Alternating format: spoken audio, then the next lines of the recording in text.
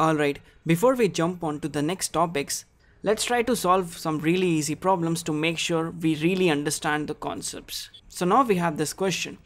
The total charge entering a terminal is given by Q equals 5 times T times sine 4 pi T and it is in microcoulombs. We need to find the current at T equals 0.5 seconds. So let's try to solve it. We know that current is given by change in net positive charge over time. That is dq over dt. So now we will just substitute the value of q and differentiate it with respect to t. So d over dt and here we have 5t times sine 4 pi t and this is microcoulombs okay so this will be 5 times t times cos of 4 pi t and then I will differentiate 4 pi t and multiply. So it will be 4 pi. Plus we have 1 times sine of 4 pi t now I will substitute the value of t equals 0.5 so this will be i of 0.5 equals 5 times 0.5 cos of 4 pi and instead of 0.5 I'll write 1 over 2 then again 4 pi plus 1 times sine of 4 pi and again instead of 0.5 I'll write 1 over 2 alright easy. Now we have 2 pi and here also we have 2 pi. Sine of 2 pi is 0 and cos of 2 pi is 1 so this will be 5 times 1 0 0.5 so I'll write 1 over 2 cos of 2 pi is 1 then we have 4 pi. So this will be equals to 10 pi and again we have microcoulombs over here. Microcoulombs here also microcoulombs so 10 pi microcoulombs if you if you put the value of pi this will be approximately equals to 31.42 microcoulombs so this is the final answer. Let's try to solve one more problem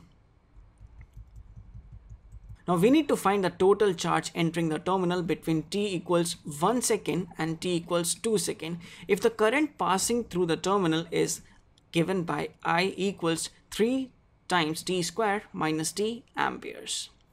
Let's try to solve this problem. We have a terminal over here. So let me just draw it just to give you an intuitive feeling of what the problem is. So let's say we have this terminal over here now the problem is saying that through this terminal a current of 3t square minus t is passing.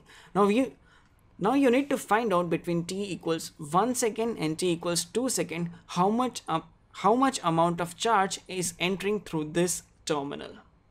We know that when we need to find out the total charge entering between a terminal, we use the formula q equals integration of t of 0 to t of 1 and then i dt okay. So now we have q equals integration t0 to t1 i dt now just substitute the value of i over here. So it will be t equals 1 to 2 and here we have 3t square minus t. All right. So this is a very very simple integration. So it will be 3 times t cube over 3 minus t square over 2 and then you can put the limit from 1 to 2 so this 3 and 3 will get cancelled. So will so we will have t cube minus 1 over 2 times t square and then you have the limit of 1 to 2 all right. So so let me just directly put the values over here. So it will be 8 minus 1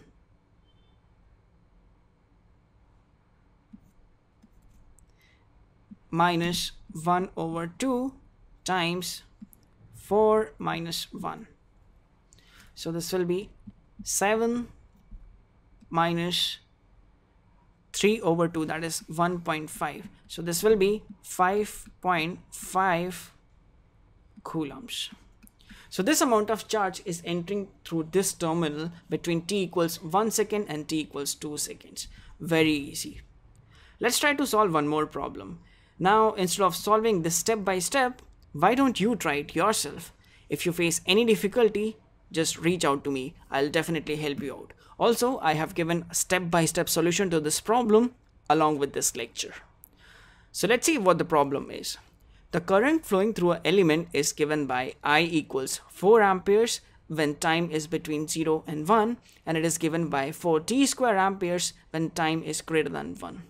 Now you need to calculate the charge entering the element from t equals 0 to t equals 2 seconds.